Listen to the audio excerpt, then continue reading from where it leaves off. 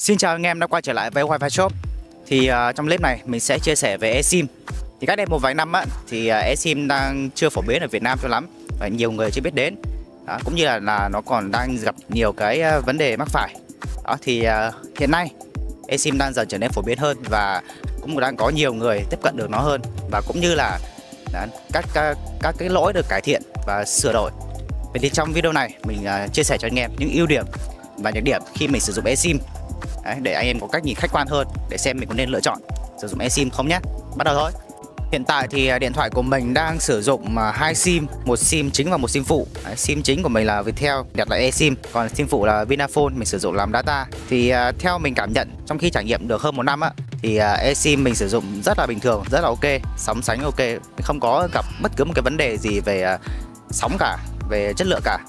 Về ưu điểm á, thì thứ nhất eSIM có tính bảo mật cao hơn là bởi vì uh, eSIM nó được hạn trực tiếp vô bo mạch chủ thế nên là cái người mà lấy được cái điện thoại của bạn hoặc là uh, bạn đánh rơi đâu đó thì cái người đó không thể lấy cái sim của bạn ra được. Uh, cho thế nên là nếu mà ai có ý tốt thì bạn gọi điện lại cho họ thì có điện vào cái máy à, của mình á thì nó sẽ reo lên và họ sẽ nghe họ sẽ chạy thoại cho mình. Còn ai mà à, có ý xấu á thì mình có thể định vị được cái điện thoại của mình ở đâu để mình tới đó mình lấy tốt hơn cái việc là sim vật lý còn có thể tháo ra được và vứt đi à, thì nó lại à, gây cản trở cho mình trong việc tìm kiếm điện thoại Thứ hai là eSIM cho phép chúng ta có thể đăng ký lên tới là 5 số thuê bao. Điều này rất là thuận tiện cho anh em thường xuyên sử dụng nhiều số điện thoại để mà làm việc. Nhưng mà trong cùng một thời điểm chúng ta chỉ sử dụng được một số điện thoại duy nhất thôi. Khi mà mình sử dụng số này thì số kia phải tắt đi.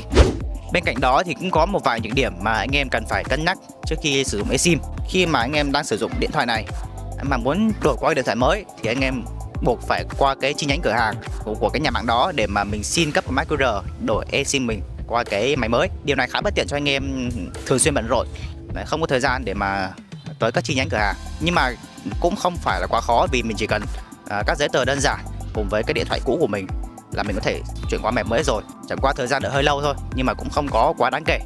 Như điểm thứ hai á, đó chính là nếu mà điện thoại của bạn bị hỏng hoặc là bị rơi xuống nước mà không lên nguồn được á, bạn cũng không thể lấy cái số điện thoại của bạn, lấy sim của bạn ra để lắp vào máy khác được. Anh em nào mà thường xuyên làm việc qua số điện thoại thuê bao thì cái điều này chắc chắn là không thích chút nào. Vậy thì nên sử dụng sim chính hay sim phụ để làm eSIM? À, đối với cá nhân mình thì mình sử dụng sim chính để làm eSIM, còn sim à, vật lý mình sử dụng làm data. Cách sử dụng này nó được cái là khi mà mình mất điện thoại thì mình sẽ có thể gọi lại cho cái người mà đặt cái điện thoại của mình để mình lấy lại điện thoại. Đấy hoặc là khi mà điện thoại mình mất mình có thể định vị được điện thoại mình đang ở đâu để mình ờ, để nó lấy. Đấy, còn một cách khác là uh, sử dụng sim chính làm sim vật lý còn sim phụ làm sim data. Thì cách này uh, được cái lợi là khi mà điện thoại mình hỏng á thì mình sẽ lấy cái sim ở trong điện thoại ra mình lắp vào cái điện thoại khác. Đấy, mình sử dụng tiếp không bị không bị gián đoạn công việc của mình. Anh em sử dụng cách nào?